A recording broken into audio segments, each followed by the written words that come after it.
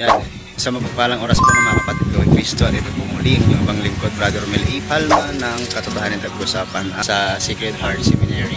And uh, mga kapatid, ko din yung na, napansin, napakaganda po. Nasa likod po natin si Saint Monica. Yan, yung uh, mother po ni Saint Augustine.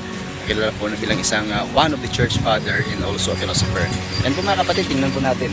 Ano po ba yung meron dito, no? Si Saint Monica po, ah, okay yan. Si Saint Monica ay August 27. Yan, August 27, two, two days after, yan po yung aking birthday. At siya po ay 331, 387 AD, ordained the adversion of her uh, dissolute, yan, pagan husband, and of her eldest son, Saint Augustine. Yan, of Hippo. Patroness of mothers, difficult marriages, disappointing children, and uh, conversion of relative, relatives. Yan, kung papansinin po natin mga kapatid, this uh, Saint uh, Monica po ay uh, napaka uh, ganda po naging naging buhay niya no. Uh, meron siyang anak, eldest na anak niya ay si Saint Augustine. And this Saint Augustine po mga kapatid ay alam naman po natin yung naging buhay niya uh, hindi po naging madali no para kay Saint Monica for almost 14 years of praying saka pa lang po siya uh, na-convert no at ay malaki yung contribution din ni St. Augustine of Hippo sa atin pong simbahan. And St. Monica has a husband na pagano po siya. Ibig sabihin, hindi po siya Christian believer. That's why, no? That's why mga kapatid, eh, ito po, yung uh, napakaganda pong na na-share niya sa, na during the 3rd century po natin, no?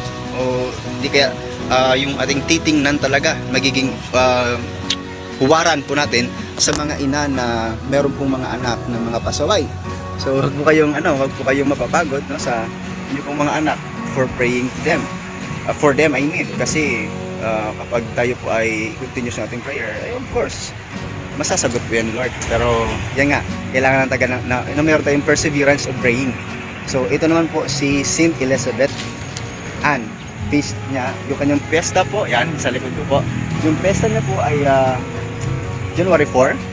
At saka babasahin ko po dito, no? Founded the first free uh, first free Catholic school in America. So siya po yung yung, nagtayo po ng uh, first kauna-unahan, ha? first free Catholic school in America. In 1774, 1821 po yan mga kapatid. Tingnan niyo po ah. And making the start of the Catholic parochial school system in the United States. So napaka uh, grabe pala yung contribution nito. Si St. Elizabeth Anne's uh, Siton. Galong, ngayon ko lang po ito na, ano, eh, na-encounter mga kapatid. So kung hindi tayo na punta muna dito sa Sacred Heart o, o seminary, so hindi natin maala, malalaman ito. Alam naman natin mga kapatid, yung teaching ng ating simbahan ay napakalawak po niyan. So marami po pa yung hindi nalalaman. That's why, mas mahigit talaga, explore, explore po tayo mga kapatid. Yan, faith lives, souls, hopes, supports in experience, says it must be, it, it must, and love says let it be. Oh, galing ha. So, yun. Alam naman po natin ngayon yung yung uh, yung status po ng US, America, eh hindi na po maganda. But the start came from uh, St. Elizabeth. Eh napakaganda pala mga kapatid. Pinakauna-una na uh, nagtatag ng first free, no? First free Catholic uh, school sa Amerika mismo. At ito naman po, Santa Rita de Casa. De Casa, I mean, okay? Yung kanya naman po feast day, I mean, ito. Yan. In, in the year of uh, 1381 up to 1457, become an Agustinian non. No? Naging madre po, no? And then after the death of her two sons, no? really, ibig sabihin pala, si Santa Rita de Cassia, before po siya naging madre, naging, ano, uh, before po siya naging madre, meron po siyang dalawang anak. Ito po, after the death of her two sons, ibig sabihin, na naramdaman din, na na feel niya din yung feeling ng ating inang Birhen Maria na kung paano yung damdamin na mamatayan ng, ng isang anak. Hindi, ito hindi lang isang anak, dalawang anak pa pala. Oh. Yan. Receive a wound on her forehead. Meron siyang stigmata. Yan. From Christ, crown of thorns. Yan. Dito pala, no? Meron stigmata ito si Santa Rita di Cassia.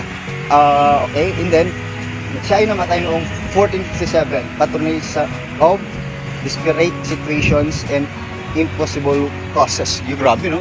Kung meron tayo palang mga, mga bagay na alam natin na mga kapatid na napaka-imposible na, na, i- na ibigay sa atin, meron po tayong saint na pwede hinga ng tulong. So we can ask the prayer of Santa Rita di Cassia. At meron po siya ano, stigmata. Sinasabi po diyan na nagkaroon po siya ng stigmata sa kanyang forehead. Yung crown of thorn na ibinigay po, no? ah, inilagay ay mean, no?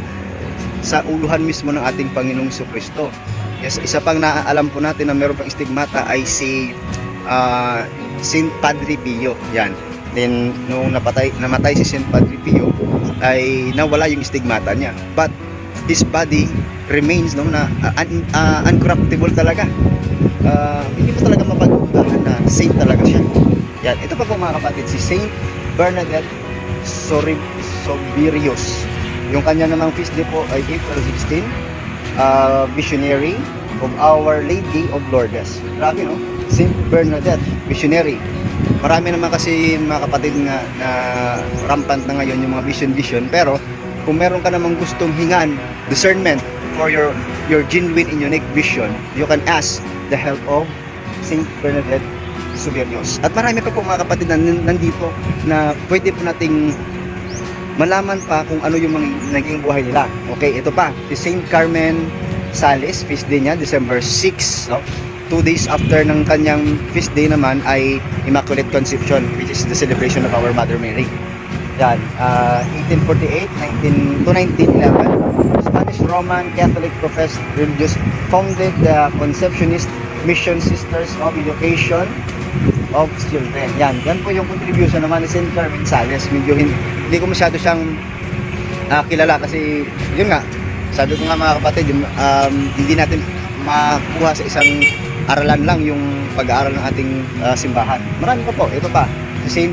ah, Jana Beretta Molia. Feast day niya April 28. Siya naman ay ah, wanting to to preserve her child's life opted for the, the month of the Febroma instead of abortion or complete hysterectomy. Patroness of uh, mother, physicians, wives, families, and unborn children.